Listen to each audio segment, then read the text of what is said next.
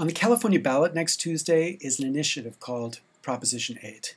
As described on the Secretary of State's website, this is an amendment to the California Constitution designed to eliminate the right of same sex couples to marry, or in other words, to deny equal rights to marry inside the state of California. Now, I live in San Francisco. In 2000, my wife and I moved to California from Boston. And with the two boys who were born while we've lived here, we have made California our home. But as I've watched the debate on Proposition 8 develop, I've become astonished by the support it seems to have. I don't understand that support, because I don't understand how anyone who takes seriously his role as a citizen within a democracy, at least a democracy that is to be independent from the church, can support Proposition 8. I don't support Proposition 8 and I offer this short explanation why. Now, the aim of Proposition 8 is simple to state. Its objective is to deny to some what the state gives to others. The thing it would deny is the right to marry. Why? Well, astonishingly, I've heard some say that one reason is so the state won't encourage homosexuality. Not that anybody wants to punish homosexuals, or at least not anymore, or ban them from our society, at least not anymore. But the state, this view says, shouldn't be in the business of encouraging or subsidizing behavior that many believe is immoral. Now, I understand why someone doesn't want to encourage what someone doesn't like. But the notion that you can encourage homosexuality must rest upon the idea that one chooses one's sexual orientation. But does anyone really believe that orientation is a choice? Was it a choice for you?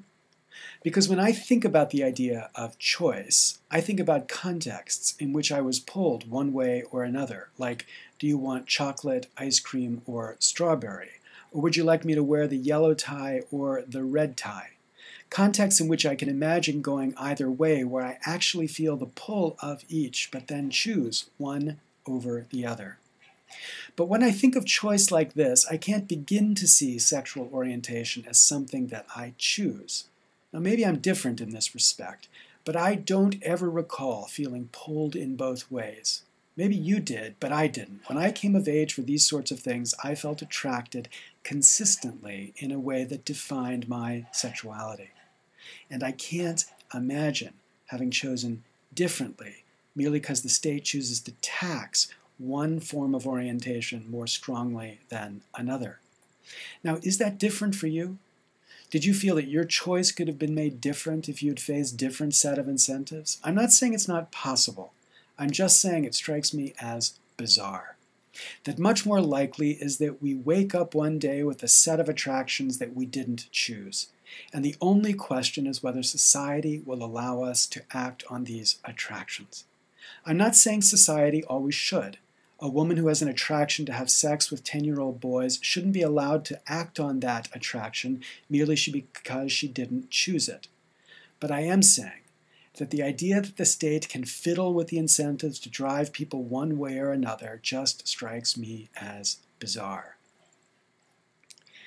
The stronger argument, or at least the argument made more frequently in favor of Proposition 8, is that somehow permitting an equal right to marry will weaken marriage.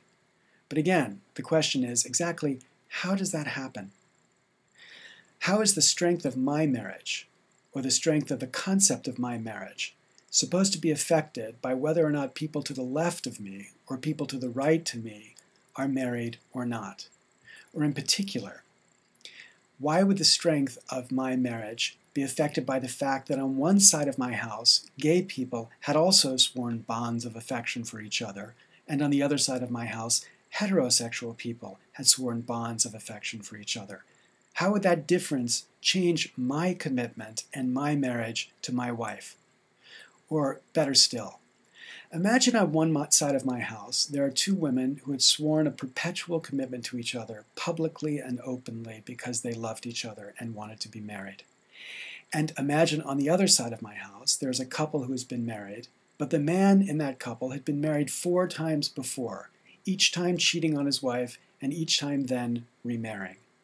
Between these two couples, which is more likely to harm the concept of, quote, marriage? Well, again, I don't think either affects my concept of marriage or the concept of marriage in general. But if you believe it does, if you believe that one who is allowed to marry somehow affects that concept of marriage because of who that person is, then which between these two couples harms the concept of marriage more, the gay couple or the divorced couple? It seems to me that if you believe this, it's the serial divorcer who obviously does more harm to the concept of marriage than a committed couple of the same sex. And if so, does that mean that the state has the power to ban divorce? or to forbid someone who has been divorced from getting remarried again, all in the name of, quote, strengthening the concept of marriage? That somehow the state has the power to deny to some the liberty to marry just because he has been divorced if the state determines that that would, quote, strengthen attitudes favoring marriage.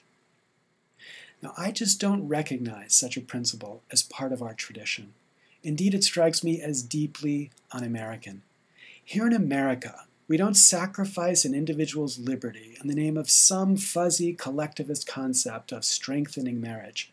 And if you agree with me, at least that the concept of serial divorce threatens the concept of marriage more than the concept of same sex couple, then why would you agree that the state can't deny the right of the person who has been divorced to get remarried? but can deny the right of the same sex couple. Now, in the end, this issue for me is really about what chance for happiness we choose to give our kids. We all should know by now that we can't control who our kids love. Kids of gay parents turn out straight regardless of what the parents want. Kids of straight parents turn out gay regardless of what the parents want.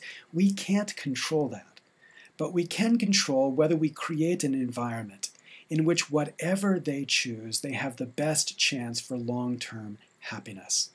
And this is what I want for my kids. Whatever they turn out to be, I want my boys to have the same chance to love and commit to someone that I was able to do with my wife.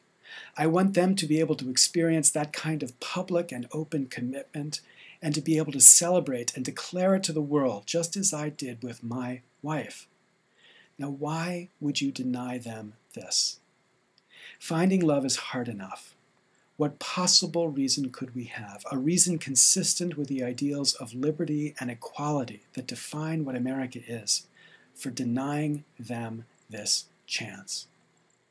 Vote no on 8, please.